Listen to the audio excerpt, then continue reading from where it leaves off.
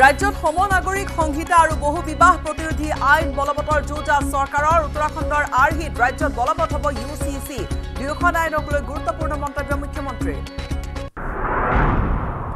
Ration কাৰ্ডৰ সৈতে সংযুক্ত হ'ব অৰুণোদয় আঁচনি বসুন্ধৰা দ্বিতীয়ৰ সমাপ্তি ঘটাই ষোল্ল ফেব্ৰুৱাৰীৰ পৰা আৰম্ভ হ'ব বসুন্ধৰা তৃতীয় পহিলা মাৰ্চৰ পৰা ৰাজ্যত চৰকাৰৰ বিকাশ যাত্ৰা কাৰ্যসূচী।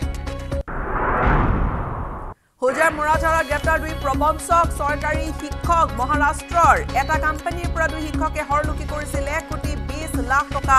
শীঘ্ৰে আৰু কেইবাটাও প্ৰবঞ্চক জালত পৰাৰ সম্ভাৱনা। চৰকাৰী চাকৰি নথকা পৰিয়ালৰ বাবে আছে ভাল খবৰ। নিযুক্তি পৰীক্ষাত পাঁচ শতাংশ অতিৰিক্ত নম্বৰ পাব।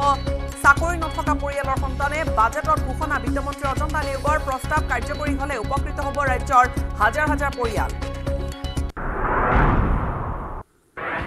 আজি ৰাজ্যৰ সৰ্বোচ্চ অসামৰিক সন্মান প্ৰদান কাৰ্যসূচী উপ ৰাষ্ট্ৰপতিৰ উপস্থিতিত ৰাজ্যপালে কলাক্ষেত্ৰত প্ৰদান কৰিব বঁটা দেশৰ প্ৰাক্তন মুখ্য ন্যায়াধীশ ৰঞ্জন গগৈলৈ অসম বৈভৱ সন্মান।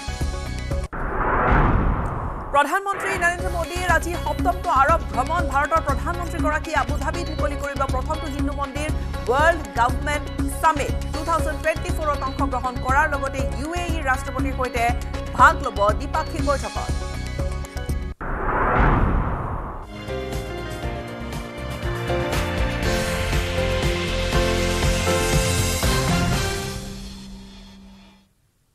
নমস্কাৰ সুপ্ৰভাত। আপুনি চাই আছে গুড মৰ্ণিং এইটিন ষ্টুডিঅ'ত মই গীতাশ্ৰী প্ৰথমে আপোনালোকক খবৰ জনাম ৰাজ্যিক কেবিনেটত লোৱা গুৰুত্বপূৰ্ণ সিদ্ধান্তৰ বিষয়ে। কেইবাটাও গুৰুত্বপূৰ্ণ সিদ্ধান্ত ৰাজ্যিক কেবিনেটত লোৱা হৈছে। কেবিনেটে দিছে অনুমোদন ষোল্ল ফেব্ৰুৱাৰীৰ পৰা আৰম্ভ হ'ব বসুন্ধৰা তৃতীয়। এক গুৰুত্বপূৰ্ণ ঘোষণা সিদ্ধান্ত কেবিনেটত ষোল্ল ফেব্ৰুৱাৰীৰ পৰা আৰম্ভ হ'ব বসুন্ধৰা তৃতীয়। বসুন্ধৰা দ্বিতীয়ৰ সমাপ্তি ঘটাই তৃতীয়। বসুন্ধৰা তৃতীয় আৰম্ভ হ'ব। বসুন্ধৰা তিনিত ভূদান গোদানৰ নিষ্পত্তি হ'ব। বসুন্ধৰা তৃতীয়ত বহু নতুন বিষয় সংযোজন হ'ব। ষোল্ল ফেব্ৰুৱাৰীত বসুন্ধৰা দ্বিতীয়ৰ সমাপ্তি। দুহেজাৰ চৌব্বিছ চনৰ পৰা বসুন্ধৰা তৃতীয়ৰ এই আৰম্ভণি আৰু তেইছ ঊনত্ৰিছ ফেব্ৰুৱাৰীলৈ পট্টা বিতৰণৰ কাৰ্যসূচী আছে। তেইছৰ পৰা ঊনত্ৰিছ ফেব্ৰুৱাৰীলৈকে মুখ্যমন্ত্ৰীয়ে বিতৰণ কৰিব ভূমি পট্টা। ৰেচন কাৰ্ডৰ সৈতে আনহাতে সংযুক্ত হ'ব অৰুণোদয় আঁচনি। একৰ পৰা দহ মাৰ্চৰ ভিতৰত অসমত বিকাশ যাত্ৰা কাৰ্যসূচী লোৱা হৈছে আৰু নশ চৌষষ্ঠিটা প্ৰকল্পৰ আধাৰশিলা আৰু ভূমি পূজন কৰা হ'ব। নতুনকৈ নিৰ্মিত ওঠৰশ বাৰটা প্ৰকল্পৰ শুভাৰম্ভণি হ'ব। বাইছশ অৰ্থাৎ দুহেজাৰ দুশ ছসত্তৰটা প্ৰকল্পৰ কাম হ'ব এই বিকাশ যাত্ৰাত। বিকাশ যাত্ৰাত তেইছ হাজাৰ কোটি টকা প্ৰকল্পৰ কাম হ'ব। বিকাশ যাত্ৰাই সামৰিব ৰাজ্যৰ বিছখনকৈ জিলা। মুখ্যমন্ত্ৰীয়ে অংশ ল'ব বিকাশ যাত্ৰাত। অন্যান্য মন্ত্ৰীসকলেও অংশ ল'ব কাৰ্যসূচীত। অসমমালা দ্বিতীয়ৰ অধীনত বাৰখন আঁচনিৰ ধনত অনুমোদন কেবিনেটে দিছে পোন্ধৰশ দহ দশমিক ন আঠ কোটি টকা। মুকলিৰ অনুমোদন কেবিনেটৰ।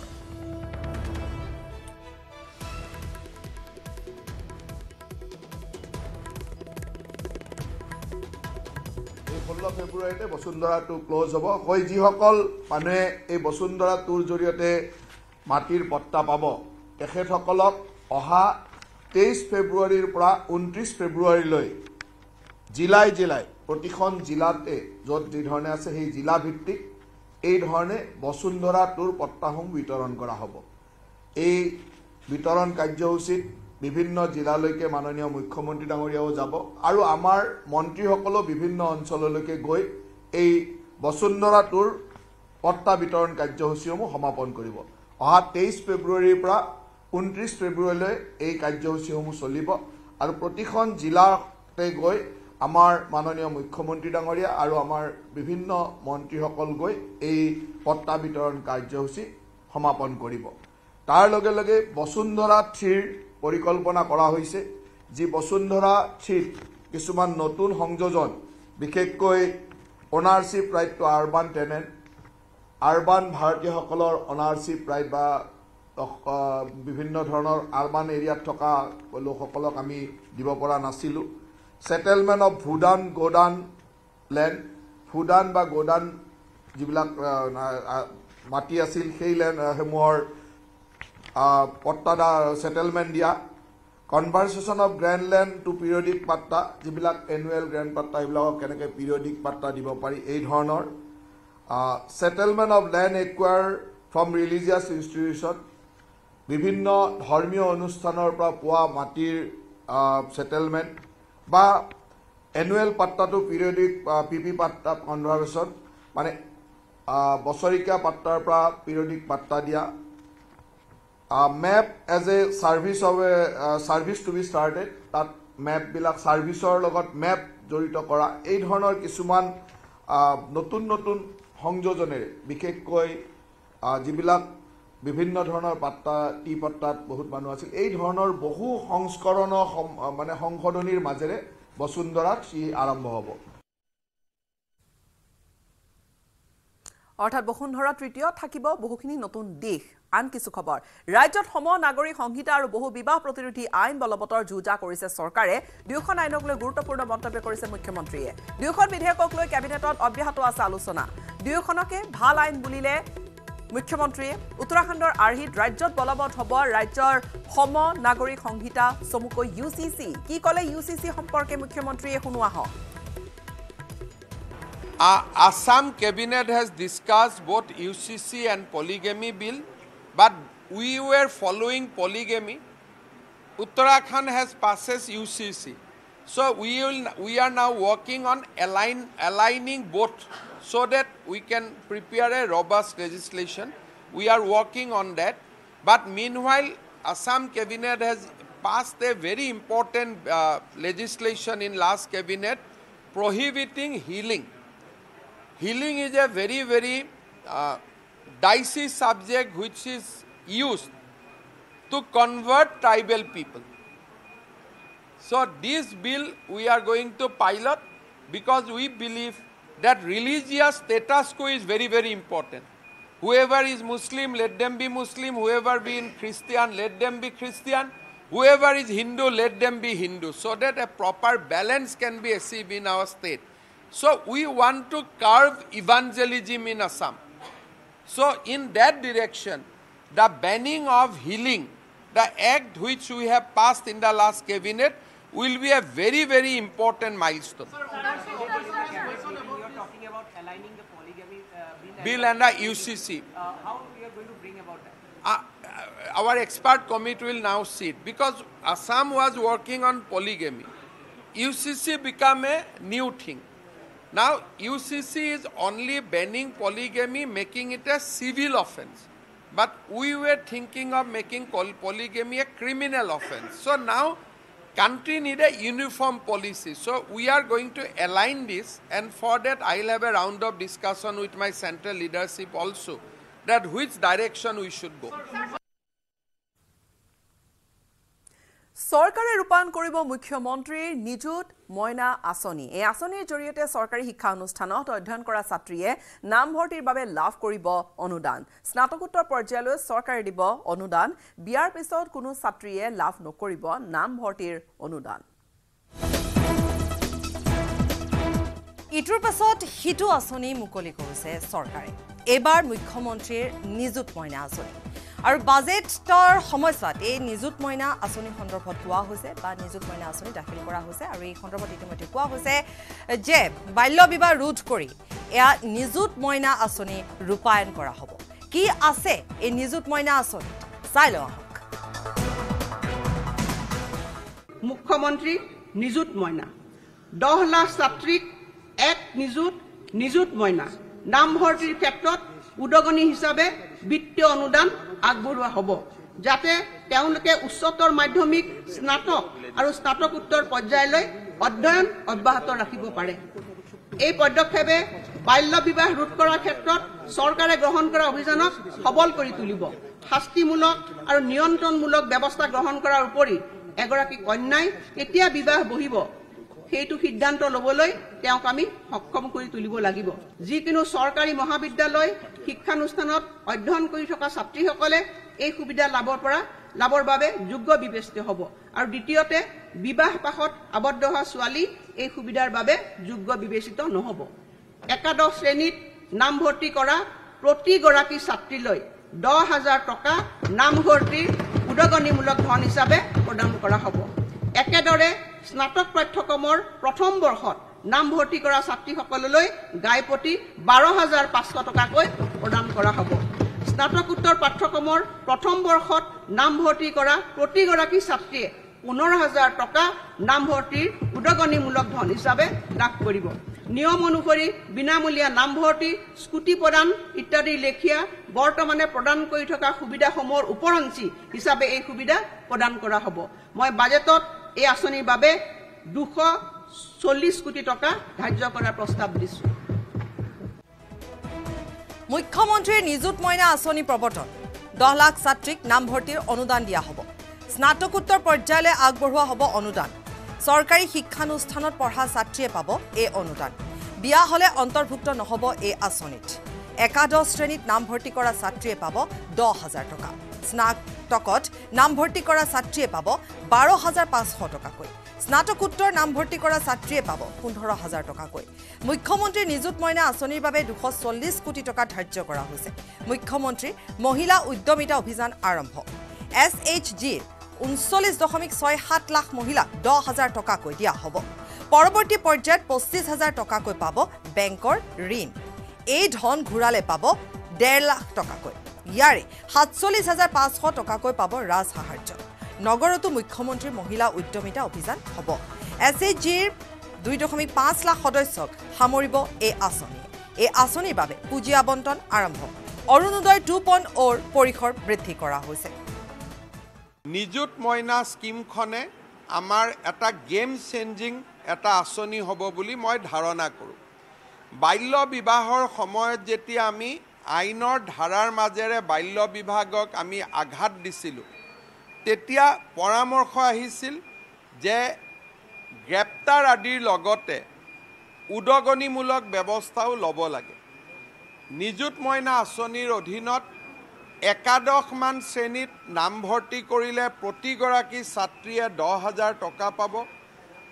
দ্বিতীয় যদি আমি সেই ছাত্ৰীজনীয়ে যেতিয়া আমাৰ ডিগ্ৰী পঢ়িব তাত এডমিশ্যনৰ কাৰণে চাৰে বাৰ হাজাৰ টকাৰ উদগনি লাভ কৰিব আৰু পষ্ট গ্ৰেজুৱেট পঢ়িলে পোন্ধৰ হাজাৰ টকাৰ উদগনি পাব।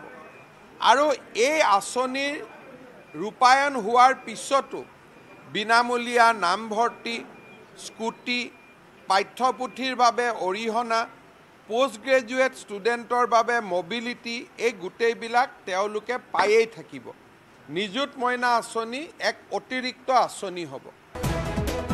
অৰুণোদয় প্ৰসংগটো বেলেগ অৱশ্যে কিন্তু এই যে নিযুত মইনা আঁচনি এই নিযুত মইনা আঁচনিৰ দ্বাৰা কিন্তু উপকৃত হ'ব সকলো। গতিকে এয়া যিসকল উঠি অহা চাম আছে বিশেষকৈ বাল্য বিবাহ যিহেতু ৰোধ কৰা হৈছে গতিকে তেনে ক্ষেত্ৰত তেওঁলোকক উদগনি দিয়া উৎসাহ দিয়াৰ ক্ষেত্ৰত আৰু তেওঁলোকক সহায় কৰাৰ ক্ষেত্ৰত যি ধৰণে চৰকাৰখন আগবাঢ়ি আহিছে তাত যি ধৰণে আচলতে এই পদক্ষেপ লোৱা হৈছে যি ভূমিকা গ্ৰহণ কৰা হৈছে যি আঁচনিৰ কথা কোৱা হৈছে সেয়া যদি সফলভাৱে ৰূপায়ণ হয় তেতিয়াহ'লে নিশ্চিতভাৱে যথেষ্টখিনি লাভান্বিত হ'ব ছাত্ৰ ছাত্ৰীসকল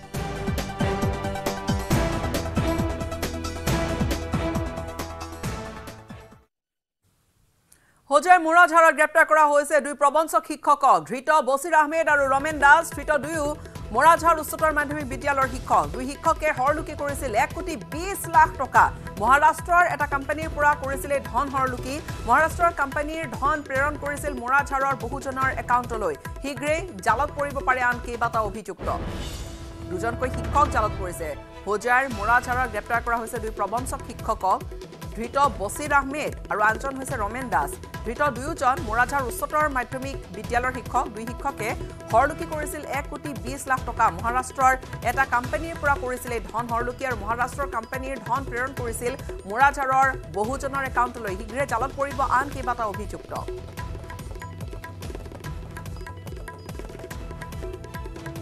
মহাৰাষ্ট্ৰ কোম্পানীটোৰ সৈতে মিলি সেই ধন আত্মসাতৰ অভিযোগ আছে। ধৃত বছিৰ আহমেদ ৰমেন দাসৰ বিৰুদ্ধে তেওঁলোক দুয়োগৰাকী শিক্ষক দুয়োগৰাকী শিক্ষকে বহুজনক ঠগ প্ৰবঞ্চনা কৰাৰ বা মহাৰাষ্ট্ৰৰ কোম্পানীৰ ধন প্ৰেৰণ কৰিছিল মোৰাঝাৰৰ বহুজনৰ একাউণ্টলৈ আৰু শীঘ্ৰে জালত পৰিব আন কেইবাটাও অভিযুক্ত। কিয়নো আৰক্ষীয়ে ইতিমধ্যে তদন্ত অব্যাহত ৰাখিছে। আৰু দুয়োজনে কেনেকৈ সেই ধন হৰলুকি কৰিছিল বা সেই কোম্পানীটোৰ সৈতে কি ধৰণৰ সম্পৰ্ক আছিল? হোজাৰ এই ঘটনাটোৰ পিছতে ব্যাপক প্ৰতিক্ৰিয়া দেখা গৈছে। হোজাইত মোৰাঝাৰত গ্ৰেপ্তাৰ কৰা হৈছে। দুই প্ৰবঞ্চক শিক্ষকক আৰক্ষীয়ে সোধা পোছা অব্যাহত ৰাখিছে দুয়োজন শিক্ষক বছিৰ আহমেদ আৰু ৰমেন দাস। দুয়োজনে দুয়োজন হৈছে মোৰাঝাৰ উচ্চতৰ মাধ্যমিক বিদ্যালয়ৰ শিক্ষক। আৰু দুই শিক্ষকে হৰলুকি কৰিছিল এক কোটি বিছ লাখ টকা। অভিযুক্ত দুগৰাকী শিক্ষক মোৰাজাৰ হাই ছেকেণ্ডেৰীৰ বছিৰ আহমেদ আৰু ৰমেন দাস। এই দুগৰাকী শিক্ষকে এই ৰহিমুদ্দিনৰ আৰু তেওঁৰ পুতেকৰ পৰা এটা বেংক একাউণ্টৰ এটা সবিশেষ তথ্যখিনি লৈছিল আৰু পৰৱৰ্তী অৱস্থাত এই বেংক একাউণ্টটোৰ ব্যৱহাৰ কৰি পেলাই এই দুজন শিক্ষকে অভিযোগ মতে এই দুজন শিক্ষকে উক্ত বেংক একাউণ্টৰ জৰিয়তে হেকাৰ চক্ৰৰ জৰিয়তে বৃহৎ পৰিমাণৰ ধনৰ এটা ধনৰাশি লেনদেন কৰিছিল একাউণ্টটোত জমা হৈছিল আৰু খুব কম সময়ৰ ভিতৰত সেই টকাটো তেওঁৰ একাউণ্টৰ পৰা বেলেগ বেলেগ একাউণ্টলৈ গুচি গৈছিল। তে সেই সংক্ৰান্ততে Morajhar P S case number twenty two oblique twenty four under section one twenty B four twenty three seventy nine read with section sixty six C আৰু sixty six D information technology act এটা গোচৰ পঞ্জীয়ন হৈছে আৰু দুয়োগৰাকী পদকীয়া ছবিৰ আহমেদ আৰু ৰমেন দাসক মোৰাজাৰ আৰক্ষীয়ে গ্ৰেপ্তাৰ কৰি আজি মাননীয় আদালতত হাজিৰ কৰিছে। বৰ্তমান এইটো সম্পূৰ্ণ তদন্তৰ অৱস্থাত আছে। বিভিন্ন ঠাইৰ পৰা সেই পইচাটো লেনদেন হৈছে বুলি জানিব পৰা গৈছে। তদন্ত চলাই আছে।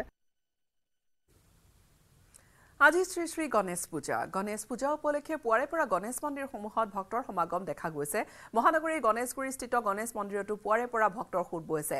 মনৰ কামনা পূৰণৰ অৰ্থে গণেশ বাবাক পূজা অৰ্চনা কৰিছে ভক্তই। পুৱাৰ ভাগৰে পৰা এই ভিৰ গণেশ মন্দিৰসমূহত দেখা গৈছে গণেশ পূজা আজি।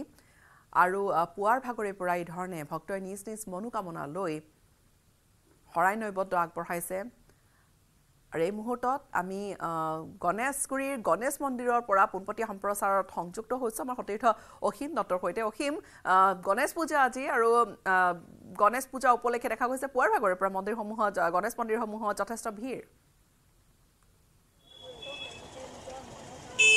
হয় গীতাশ্ৰী যিহেতু আজি গণেশ পূজা বা গণেশ চতুৰ্থী আৰু গণেশ পূজা উপলক্ষে ৰাজ্যৰ বিভিন্ন প্ৰান্তৰ সমান্তৰালকৈ মহানগৰীৰ গণেশ মন্দিৰসমূহতো ভক্তৰ ব্যাপক সোঁত দেখিবলৈ পোৱা গৈছে ব্যাপক সমাগম দেখিবলৈ পোৱা গৈছে আৰু এই মুহূৰ্তত যিহেতু মই উপস্থিত আছোঁ গণেশগুৰিৰ স্থিত গণেশ মন্দিৰত আৰু গণেশগুৰিৰ স্থিত গণেশ মন্দিৰতো পুৱাৰে পৰা ভক্তৰ লানি নিচিগা শাৰী দেখিবলৈ পোৱা গৈছে আৰু এই মুহূৰ্তত মই সামগ্ৰিক দৃশ্য দেখুৱাব বিচাৰিম মোৰ সতীৰ্থগৰাকীয়ে দেখুৱাব।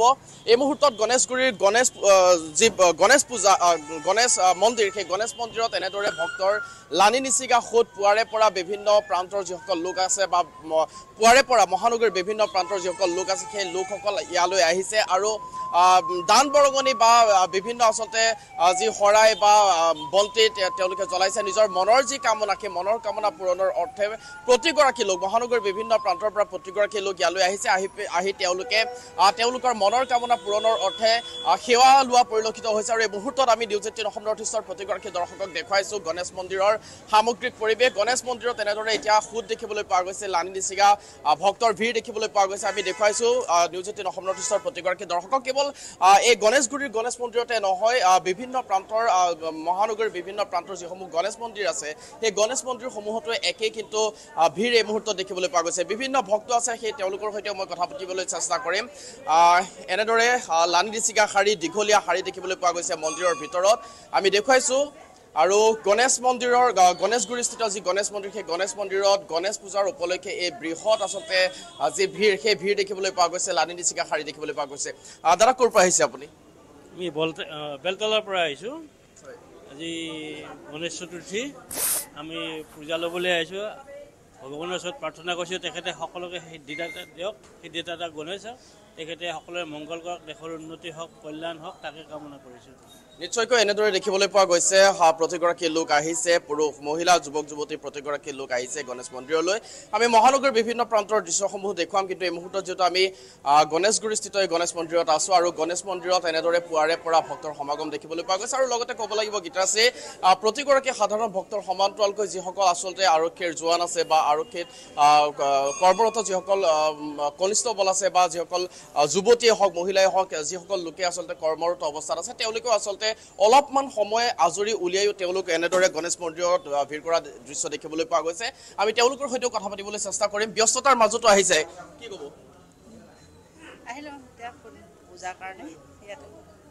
যিহেতু ব্যস্ত থকা হয় পুৱাৰ ভাগতে এনেদৰে ওলাই আহিছে। সময়টো নাপাওঁ তেনেকৈ। এতিয়া আজি পাইছোঁ কাৰণে আহিলোঁ ইয়াতে।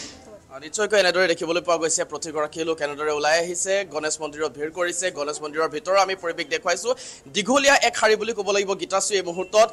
গণেশ গুৰিস্থিত গণেশ মন্দিৰৰ এই সামগ্ৰিক পৰিৱেশ এই মুহূৰ্তত আমি দেখুৱাইছোঁ দীঘলীয়া শাৰী। ইজনৰ পিছত সিজন লোকে আচলতে এনেদৰে শাৰী পতা পৰিলক্ষিত হৈছে আৰু মহানগৰীৰ বিভিন্ন প্ৰান্তৰ লোকসকল বৰ্তমান সময়তো আহি আছে আৰু পুৱাৰ ভাগৰ পৰা যিহেতু দীঘলীয়া শাৰী দেখিবলৈ পোৱা গৈছে আৰু সেই শাৰীৰ কিছু আমি সামগ্ৰিক পৰিৱেশ দেখুৱাইছোঁ এনেদৰে প্ৰতিগৰাকী লোক আহিছে প্ৰতিগৰাকী লোকে পূজা অৰ্চনা কৰিছে আৰু সামগ্ৰিক পৰিৱেশ মুহূৰ্তত দেখুৱাইছোঁ। গণেশ মন্দিৰৰ যি পৰিৱেশ গণেশগুৰিৰ গণেশ মন্দিৰৰ যি পৰিৱেশ সেই পৰিৱেশ এই মুহূৰ্তত আমি দেখুৱাইছোঁ। গীতাশ্ৰী। হয়। ধন্যবাদ অসীম। সেয়া গণেশ মন্দিৰ গুৱাহাটীৰ গণেশগুৰিৰ গণেশ মন্দিৰ তাত দেখা যায় গণেশ চতুৰ্থীৰ দিনা যথেষ্ট ভিৰ হয় আৰু ব্যতিক্ৰম আজি হোৱা নাই।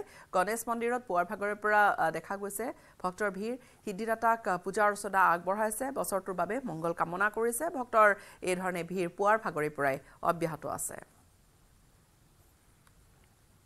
খবৰধাৰা অব্যাহত ৰাখিম সময়খিনিত এটা বিৰতিৰ।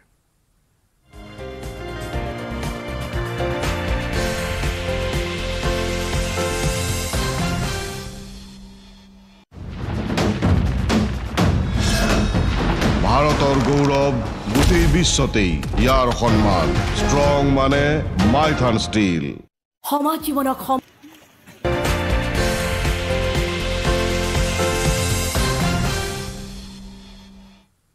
আজি দুদিনীয়া ভ্ৰমণসূচীৰে ইউনাইটেড আৰব এমিৰেটছলৈ যাব দেশৰ প্ৰধানমন্ত্ৰী নৰেন্দ্ৰ মোদী। এই ভ্ৰমণকালত প্ৰধানমন্ত্ৰীগৰাকীয়ে আবুধাবিত উদ্বোধন কৰিব প্ৰথমটো হিন্দু মন্দিৰ।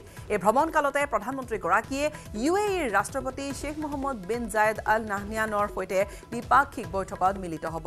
দুয়োখন দেশৰ মাজত কূটনৈতিক সম্পৰ্ক সুদৃঢ় কৰাৰ গুৰুত্ব আৰোপ কৰা হৈছে আৰু এই বৈঠকত সেই সন্দৰ্ভতে বিভিন্ন দিশ উত্থাপন হ'ব। আঞ্চলিক আৰু আন্তঃৰাষ্ট্ৰীয় কেতবোৰ গুৰুত্বপূৰ্ণ বিষয় সন্দৰ্ভতো দুই ৰাষ্ট্ৰপ্ৰধানে আলোকপাতত মিলিত হ'ব। আৰু এই বৈঠকৰ পিছতে প্ৰধানমন্ত্ৰীয়ে আৰৱৰ উপ ৰাষ্ট্ৰপতি আৰু প্ৰতিৰক্ষা মন্ত্ৰীৰ সৈতেও বৈঠকত বহিব। ইয়াৰ পিছতে ইয়াৰ পিছৰ যি কৰ্মসূচী সেয়া মতে ভাৰতৰ প্ৰধানমন্ত্ৰীগৰাকীয়ে ডুবাইত অনুষ্ঠিত হ'বলগীয়া world government summit two thousand twenty ফ'ৰত সন্মানীয় অতিথি হিচাপে অংশগ্ৰহণ কৰিব। উল্লেখযোগ্য যে প্ৰধানমন্ত্ৰী মোদীৰ হ'ব এইটো এইটো সপ্তমবাৰৰ আৰৱ ভ্ৰমণ।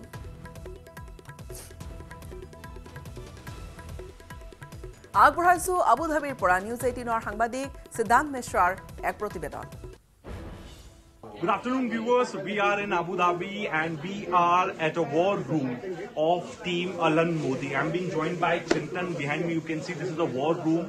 24-7 work is going on here uh, at War Room, which is built inside Zayed Stadium in Abu Dhabi. I'm being joined by Chintan. Chintan, how is the excitement? How is the josh ahead of Prime Minister's arrival? There is too much juice, and that has been the case since the day it was announced that Prime Minister is going to be here. Uh, you can see the excitement all around. All team are working together in tandem, and this is the first time that the Indian community in UAE is organizing this entire event uh, by each other's collaboration and ensuring that all different uh, representation of entire country is done here for this. How many people are going to participate uh, and what is the strength of the spectators that uh, the organizers are expecting? So we got registration 65,000 plus, plus people uh, all the, across uh, entire UAE, but uh, because of the space constraints, we are issuing 45,000 tickets. So we'll have attendance of minimum 45,000 people at the stadium. And participants?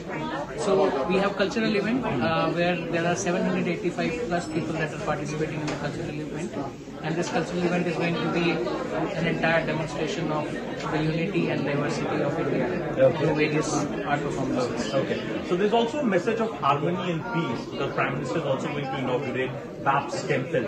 Uh, you are a part of diaspora in, uh, uh, in, uh, in UAE. How does it feel when Indian Prime Minister uh, travels to uh, to UAE and perhaps the most popular Prime Minister of all time? Yeah. So one good thing that has happened in the last decade since the Prime Minister has taken over is that the, the relationship between India and UAE has grown very strongly, and that is very evident with the three steps that are taken at both government levels.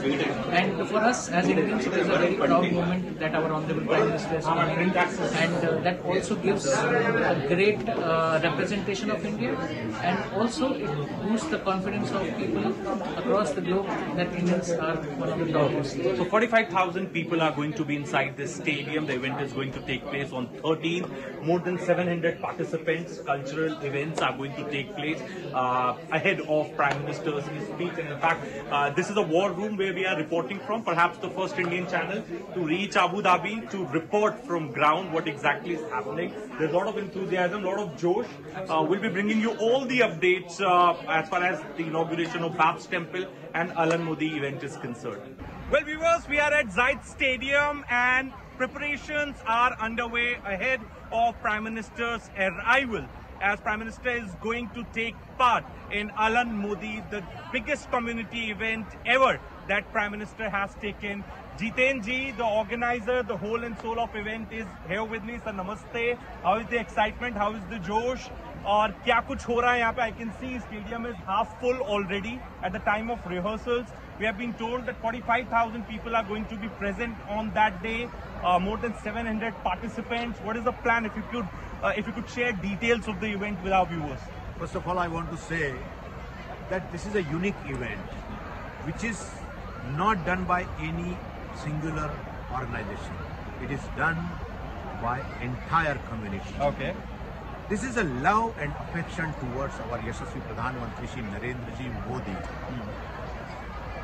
When, whenever he goes anywhere in the world outside the country, entire Indian community comes together at the name of uh, Yashasvi Pradhan Mantri Narendra Ji Modi because he यशस्वी प्रधानमंत्री जी के दिल में 140 करोड़ भारतीय वास करते हैं और 140 करोड़ भारतीयों के दिल में नरेंद्र मोदी धड़कते हैं আবুধাবিত প্ৰধানমন্ত্ৰীগৰাকীয়ে মুকলি কৰিব প্ৰথমটো হিন্দু মন্দিৰ। বেপছ মন্দিৰ মুকলিৰ বাবে আজি ইউ এ ইলৈ ৰাওনা হ'ব প্ৰধানমন্ত্ৰীগৰাকী ইউ এ ই সপ্তমবাৰৰ বাবে প্ৰধানমন্ত্ৰীগৰাকীয়ে ভ্ৰমণ কৰিব। ইপিনে মুকলিৰ পূৰ্বে সজাই পৰাই তোলা হৈছে আবুধাবিৰ প্ৰথমটো হিন্দু মন্দিৰ। সাতাইছ একৰ ভূমিত নিৰ্মাণ কৰা হৈছে এই মন্দিৰ।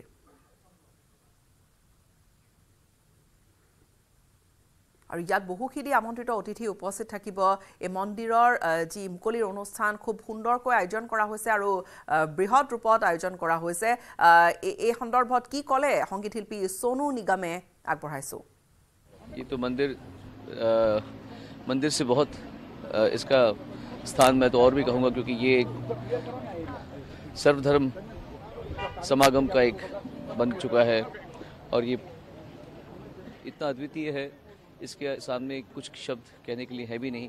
हमारा सौभाग्य अच्छा है कि हम यहाँ पर इसके दर्शन अभी कर पाए हैं। सारी दुनिया इसको करने वाली है दर्शन परसों के बाद में। प्रधानमंत्री भी आ रहे हैं। जी हाँ बहुत बहुत खुशी की बात है।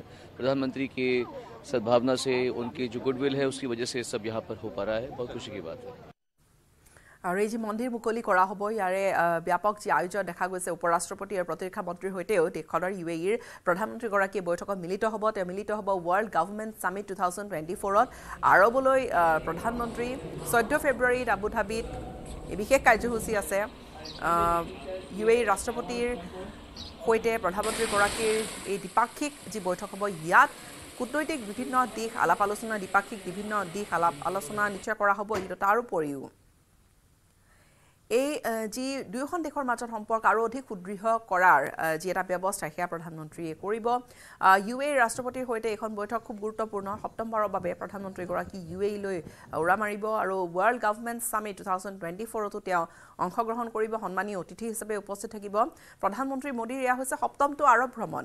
আৰু যি বৃহৎ হিন্দু মন্দিৰ প্ৰথমটো হিন্দু মন্দিৰ সেয়া মুকলি কাৰ্যসূচী চৈধ্য ফেব্ৰুৱাৰীত আৰু সেই কাৰ্যসূচীটো উপস্থিত থাকিব বহুকেইগৰাকী বিশিষ্ট ব্যক্তি।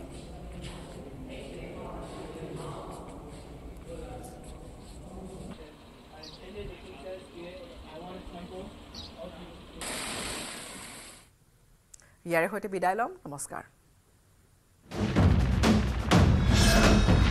ভাৰতৰ গৌৰৱ গোটেই বিশ্বতেই ইয়াৰ সন্মান ষ্ট্ৰং মানে মাইথান ষ্টীল